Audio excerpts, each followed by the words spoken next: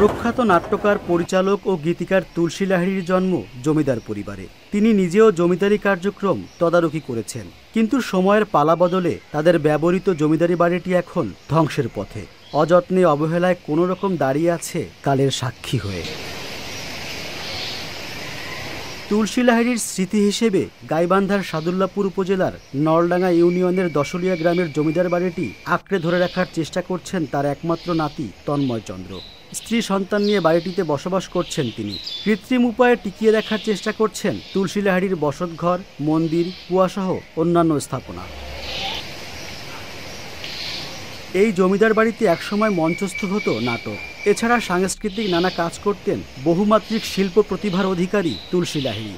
কিন্তু এখন আর বাড়িটির তেমন কোনো জৌলুস নেই। তারপরেও কালের সাক্ষী হয়ে দাঁড়িয়ে থাকা বাড়িটি এক নজর দেখতে ছুটে আসেন ভ্রমণ পিপাসুরা। আমাদের পুরাতন স্থাপত্যের মধ্যে আমাদের পিছনে একটা মন্দির আছে ধারণা করা হয় ওটা প্রায় সপ্তদশ শতাব্দীর মন্দির, প্রায় তিনশো বছর, সাড়ে তিনশো বছর বয়স হয়েছে।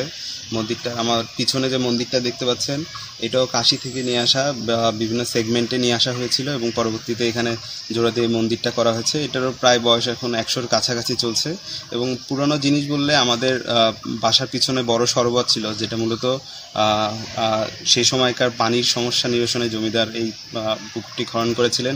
প্লাস আমার বাসার সামনে একটা বড় পুকুর দেখবেন, এটা মূলত আমাদের পরীক্ষা ছিল। অর্থাৎ জমিদারি আমলে যেহেতু আপনার বিভিন্ন শত্রুর হাত থেকে রক্ষা করার জন্য পরীক্ষা করানো করা হয়, তো এটা আমাদের মূলত পরীক্ষা ছিল। আর সাথে যেটা ছিল, আমাদের ঘর, পুরাতন স্থাপনার মধ্যে দুটো ঘর আছে শুধু। আমাদের বাসার সামনে যে ঘরটা আছে, এটা আমাদের কাচারি ঘর ছিল, মূলত জমিদারি পরিচালনা করা হতো। প্লাস আপনারা যে আমাদের বৈঠকখানা বলে আমরা, এখানে মূলত আমাদের যেহেতু সংস্কৃতিমনা পরিবার ছিল, যে জমিদার ছিলেন সে স্বয়ং একজন সংস্কৃতিমনা ছিলেন, তার ছেলে ছিলেন ইভেন তার নাতিও ছিলেন একজন সংস্কৃতিমনা তো আমাদের এখানে গানের আসর বসা বা বিভিন্ন সাংস্কৃতিক অনুষ্ঠান হতো এই বারান্দায়। আর ভেতরে যে ঘরটা ছিল, এই ঘরটা আমাদের থাকার আছে। তাছাড়া আমাদের এই বাসায় আসলে যেখানেই খোলা যায় সেখানে দেখা যায় যে যে কোনো একটা স্থাপত্য বের হয়। অ্যাকচুয়ালি এগুলো হলো আপনার দুইশো আড়াইশো বছর হয়েছে এবং যেহেতু মাটি আস্তে আস্তে ডাবছে, জিনিসগুলো, স্থাপত্যগুলো ডেবে গেছে।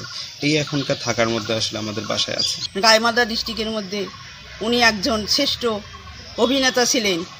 এরপর তার কেউ হয়ে ওঠেনি এইরকম। তো এটাই আমাদের গর্বের কারণ। গ্রামের মানুষ আমাদেরকে তো যথেষ্ট সম্মান করে। নদী শুকায় গেলে সেটা সে নদীই থাকে যায় সেটা কিন্তু পুকুর হয় না। তো সেই রকম আমাদের জমিদারি নাই ঠিকই, কিন্তু আমাদের নামটা আছে, এটাই আমাদের গর্বের বিষয়। দেশের বেশ কিছু জমিদার বাড়ি সরকারি সহায়তায় দৃষ্টিনন্দন করে গড়ে তোলা হলেও গাইবান্ধার এ জমিদার বাড়িটি আজও অবহেলিত। এভাবে চলতে থাকলে ঐতিহ্যবাহী এই জমিদার বাড়িটি বিলুপ্তি ঘটতে সময় লাগবে না বলে মনে করেন তন্ময় চন্দ্রের পরিবার। সংবাদ প্রকাশ নিউজ ডেস্ক